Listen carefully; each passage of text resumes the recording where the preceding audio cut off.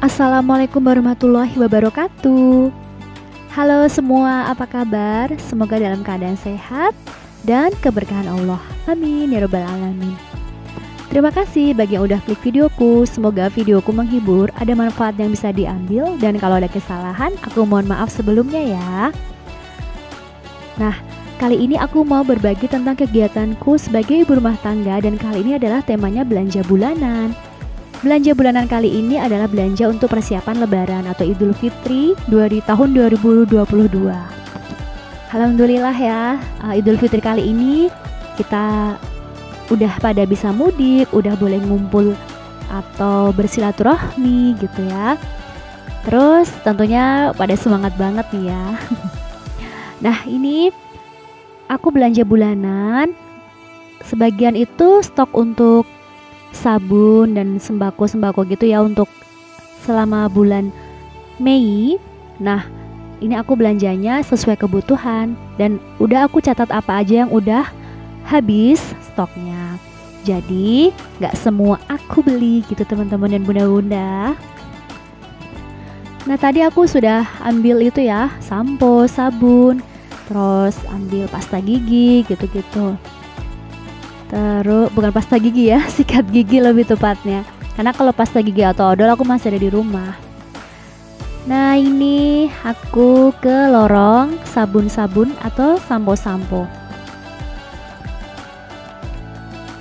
Ini aku ambil sabun cuci tangan. Yang aku beli satu aja, yang hand soap. Karena di rumah itu masih ada satu. Nanti kan persediaan untuk cuci tangan misalnya kita nanti open house gitu ya. Jadi kan setelah makan biasanya kan cuci tangan jadi butuh agak banyak jadi aku tambah satu lagi gitu. Terus ini aku ambil spons eh spons spons atau apa ini ya? Pokoknya gitu deh untuk eh, so untuk mandi gitu ya untuk busa sabun itu biar banyak gitu. Untuk Mbak Rahel karena kan dia lagi belajar mandi sendiri jadi kan biar lebih bersih gitu aku beliin itu gitu. Nah ini aku galapok sama promo keset. Kesetnya murah-murah. Aku beli karena keset di rumah juga udah pada banyak yang kotor. Bukan kotor sih banyak yang udah bolong-bolong gitu atau udah sobek-sobek kainnya. Jadi aku beli dua aja nanti satu untuk ruang tamu satu untuk pintu di belakang dapur gitu. Nah ini suasananya lumayan rame ya. Aku belanja di Hypermart. Tadi itu rame banget karena uh, udah sebagian tuh banyak yang beli untuk persiapan Lebaran gitu. Oh ya teman-teman, aku mohon bantuannya ya bagi yang belum subscribe. Aku mohon bantuan subscribe. Jangan lupa juga kasih like dan komen positif. Semoga channelku bisa berkembang. Terus aku ucapkan terima kasih bagi yang udah setia menontonku, baik yang udah sering like, kasih like dan komen positif atau yang sering nonton tapi tidak komen, aku juga ucapkan banyak terima kasih ya. Semoga kebaikan teman-teman dan bunda-bunda semua dibalas Allah dengan kebaikan yang lebih baik. Amin ya. Oh ya teman-teman dan bunda-bunda gimana nih persiapan untuk lebarannya? Udah nyiapin apa aja? Udah belanja apa aja untuk lebarannya? Semangat ya teman-teman dan bunda-bunda menyambut idul fitri. Semoga lancar sehat aman amin. Nah ini lanjut aku nyari tisu. Aku cari yang promo ya dan yang promo itu selalu nice. Aku ambil dua karena kan nanti lebih butuh banyak ya banyak tamu gitu ke rumah. Misalnya makan kue terus tangannya kotor pasti tisu gitu kan diambil. Ya iyalah ya. Jadi aku stok lumayan banyak tisu dua sih. Insya Allah cukup ya. Nah ini lanjut aku ke lorong-lorong sabun cuci baju atau cuci piring. Eh bukan sih ini sabun colek ya. Kan kalau sabun cuci baju nggak pakai uh, itu pakai yang deterjen laundry kalau nggak rinso gitu. Nah sabun colek tadi itu biasanya untuk nyuci lap gitu nyikat-nyikat lap. Nah ini jangan lupa juga Stella pengharum kamar mandi atau ruang kamar mandi biar harum. Nanti pas saat ada tamu ke kamar mandi kamar mandinya harum cie. Terus ini jangan lupa juga obat nyamuk. Maklum rumahnya masih dekat kebun. Jadi ada nyamuk. Jadi aku beli obat nyamuk. Tak lupa beli kecap bango untuk masak semur mungkin. Untuk masak ayam kecap atau nanti untuk tambahan saat makan bakso. nah, ini aku beli jelly. Aku ini rencananya jelly ini aku taruh di toples untuk nanti saat lebaran. Nah, tapi kan waktu aku bungkus tuh lupa ya, nggak aku taruh di uh, untuk timbangan di kiloan gitu. Nah, saat aku ke kasir sama mbak kasirnya itu, dikembalikan dulu atau nyuruh karyawan yang lain itu untuk nimbang. Nah, pas saat lagi proses nimbang itu lama banget ternyata dan aku itu kelupaan dan Mbak Kasir juga kelupaan. Jadi sampai rumah itu jelinya lupa gitu dikasih kembali ke kasir jadi akhirnya jelinya itu nggak jadi ada cuma ada di video ya Allah. Jadi aku akhirnya beli jeli tempat lain. Ya mungkin sama-sama lupa kita berduanya. Aku juga lupa kalau ada jeli yang masih di dalam ditimbang gitu. Nah tadi aku juga beli wafer tenggo. Aku wafer tenggonya itu mau aku kasih untuk hadiah anak-anak les atau anak-anak yang aku kasih bimbingan belajar karena mereka udah rajin masuk les dan mereka itu puasa. Gitu. Jadi aku mau kasih semangat lewat kasih hadiah. Ya meskipun kecil yang penting maknanya uh, ini ya saling berkasih sayang untuk hari lebaran. Gitu deh. Terus aku juga mampir nih ke lorong daging, tapi aku nggak beli, cuma lihat aja. Nah ini suasananya Hypermart saat lebaran atau saat menjelang lebaran banyak banyak banyak banget yang promo. Terus tadi juga suasananya udah suasana lebaran banget ya, ada kotak-kotak hampers gitu atau untuk kotak parcel disusun. Nah, ini banyak diskon-diskon seperti minuman, kue kaleng, gitu-gitu sirup.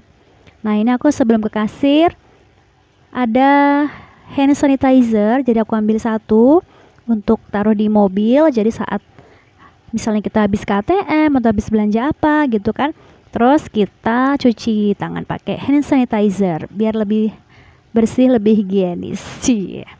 Nah, habis itu aku ke kasir aku bayar-bayar dulu terus aku pulang nah ini yang unboxing itu Mbak Rahel ya dia mau mewakili miminya untuk unboxing belanja bulanan apa aja karena waktu itu aku capek banget teman-teman bunda-bunda dan sumuk banget atau kepanasan gitu ya pas pulangan itu ya sudah deh akhirnya nggak apa-apa Mbak Rahel mau bantuin unboxing jadi mudah-mudahan teman-teman jangan gagal fokus dengan unboxingnya Mbak Rahel. Tangannya mungil. Terus ya sebisa-bisanya dia ya. nah ini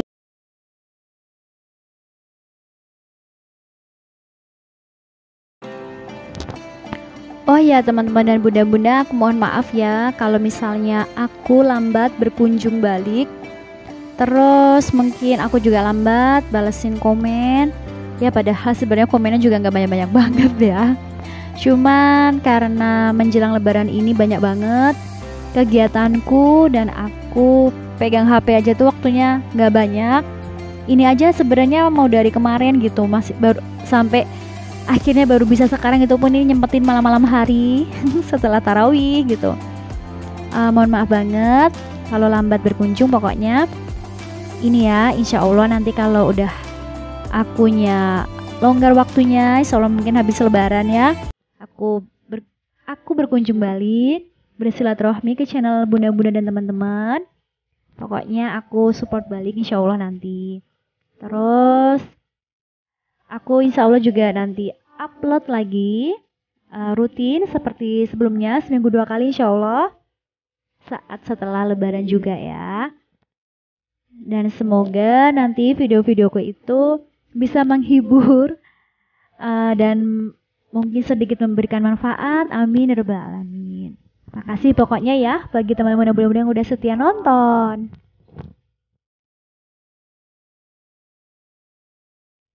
Nah, kali ini untuk belanja bulananku nggak sebanyak biasanya ya. Karena bulan kemarin itu masih ada. Jadi aku beli yang bener-bener habis. Dan ini juga nambah untuk stok lebaran gitu. Jadinya nggak terlalu banyak yang sembako-sembakonya karena sebagian itu sembako-sembakonya udah aku cicil belanja yang bulan lalu terus masih ada. Jadi ya aku nggak banyak beli sembako kali ini gitu. Nah ini tak lupa wafer tenggonya tadi yang mau dibagi-bagikan, ditampilkan untuk hadiah anak-anak les yang berpuasa. Semoga mereka suka, semoga mereka semangat, semangat puasa gitu dan semangat tetap belajar. Amin. Oh ya teman-teman dan bunda-bunda, adakah yang sekarang ini lagi mudik? Semoga yang lagi mudik diberi Allah kelancaran, keselamatan, kemudahan, bertemu keluarga dengan happy, terus pokoknya bisa bertemu orang tua dan keluarga di kampung halaman dengan ke, penuh keberkahan Allah dan kebahagiaan. Sehat selalu, teman-teman dan bunda-bunda. Amin. Terus sekarang mungkin ada yang lagi nyiap-nyiapin opor atau rendang daging atau mau bikin ketupat atau lagi bikin bumbu-bumbu. Semangat bunda-bunda dan teman-teman. Oke, cukup di sini videoku. Sampai jumpa di videoku selanjutnya insya Allah. Terima kasih sudah menonton. Wassalamualaikum warahmatullahi wabarakatuh. Bye-bye.